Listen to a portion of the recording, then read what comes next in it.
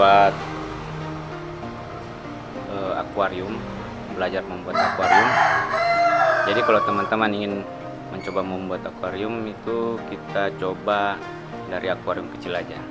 Nah, untuk akuarium kecil kan biasa untuk ikan gapi ikan cupang atau ikan-ikan lain lainnya.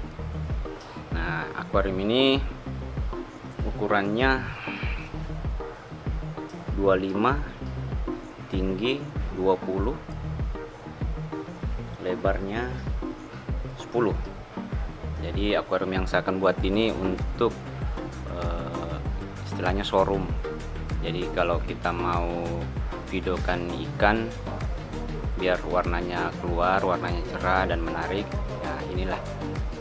Jadi yang ini warna hitam kiri kanan warna hitam alas warna hitam belakang kita akan coba pakai kaca cermin dan depannya yang bening sama lem. Oke teman-teman mari saksikan.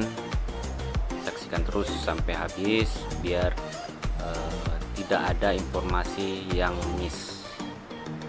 Jadi teman-teman yang menganggap konten ini menarik silahkan di subscribe di like kalau menurut teman-teman nggak bagus ya terserah lah.